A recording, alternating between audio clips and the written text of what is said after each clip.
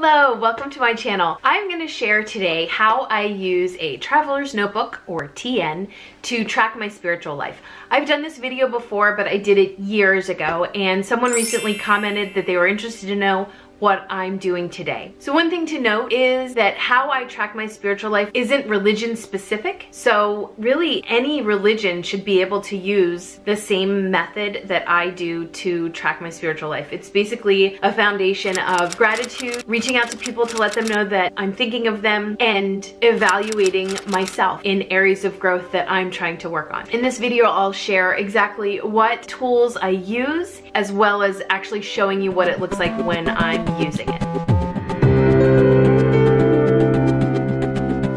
I have completely changed up how I track my life spiritually. Before I was using this setup. scripture writing all in here. This is a number seven Foxy Fix sugar. And while I really love using a TN and all of the artistic pursuits, it just felt too big and like I had too much space and it was too separated out. I've always wanted to try a true traveler's notebook like the Midori traveler's notebook in Japan but I decided rather than springing for a cost of one of those, just to make sure that I liked the size, I went ahead and got the Moterm TN on Amazon. The leather actually smells pretty good. I think the lighting shows the color pretty well. The thing that I like about this is the scratches generally just rub out which is nice. So here's what the leather looks like inside. The strap is just connected inside here very solidly. It's one, it comes with one strap, but it also comes with this nice wooden pen. It has a twist off top. It's not the highest quality pen out there, but it's it's nice. It's got some weight to it. It also came with an extra band in case you have to restring or want to restring. It also came with an extra jump band, came with a charm, and it came with this clip that allows it to be a pen holder. And this pen does fit in it pretty decently, so it's a pretty wide pen holder, or you could get one that has a clip. I actually haven't used these parts. I will obviously keep that. I don't know. I probably won't have a charm on it. And I might keep this because I might want a pen on it, but right now I'm not. And I can always use an extra jump band. It also comes with your standard size signature or insert. It has your typical grid. It has lined and it has just plain. I also, I got some extra signatures or inserts from Michaels, which I actually prefer because the inside is the normal craft paper color, whereas the inside of the Moterm inserts has this like white kind of plasticky cardboard, which I know that's probably picky. And it came with another card holder. It comes with a lot for the price point that it is, which was $27.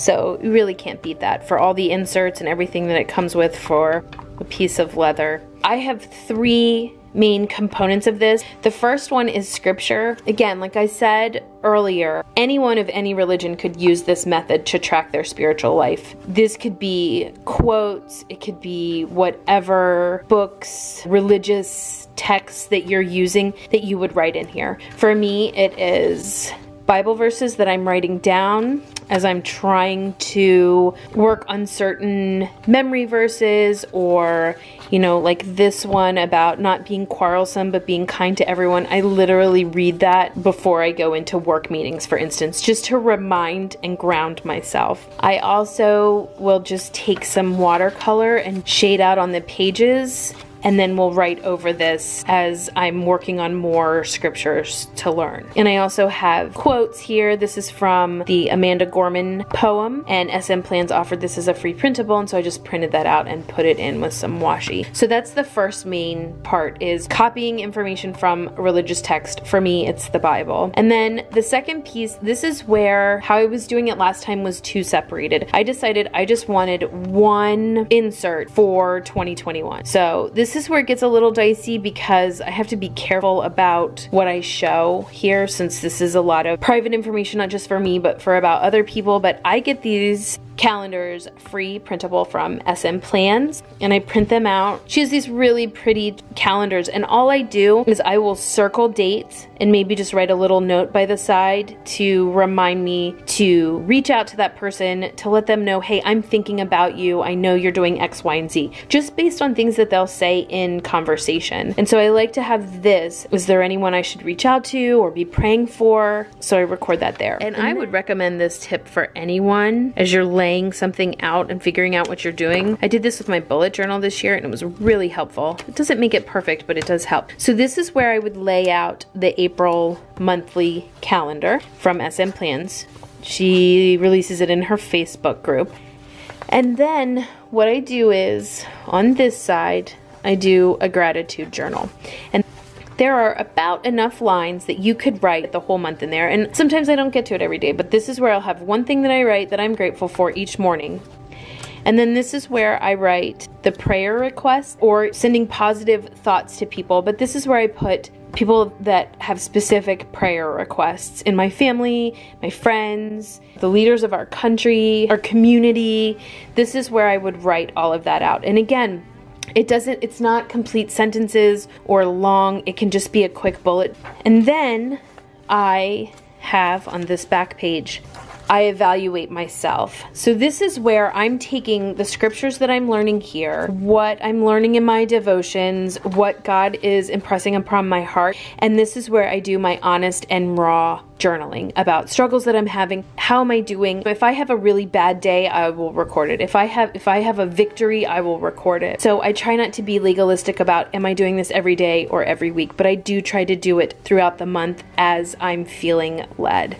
So sometimes this will spread into other pages or maybe I have more prayer requests that I need to put on here. It divides out to about three pages per month. So my goal is, is to have these three pages and then I would start in May here and just go to the end.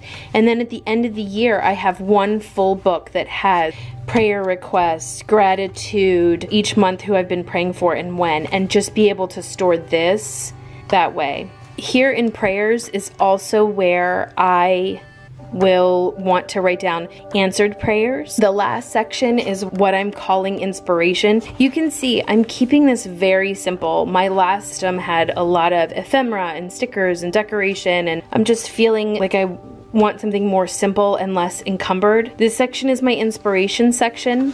It's a folder that also came with this Moterm. I have a list printable insert from Annie Plans printables. This is where I want to put any ideas that I have for podcasts I want to listen to, books that I want to read, resources that I want to look into, or just ideas that I have during my quiet time. Sometimes as I'm praying, things come to mind and I just want a place where I can just jot things down. And the way this printable is, it's not attached. I've actually done from the middle and just pulled it out and just started fresh. So I just have these scribbles and then once I've done, moved these and migrated these to where they need to go, I then can just pitch them. This is a notebook that I got at Walmart and I am doing watercolor paintings in it.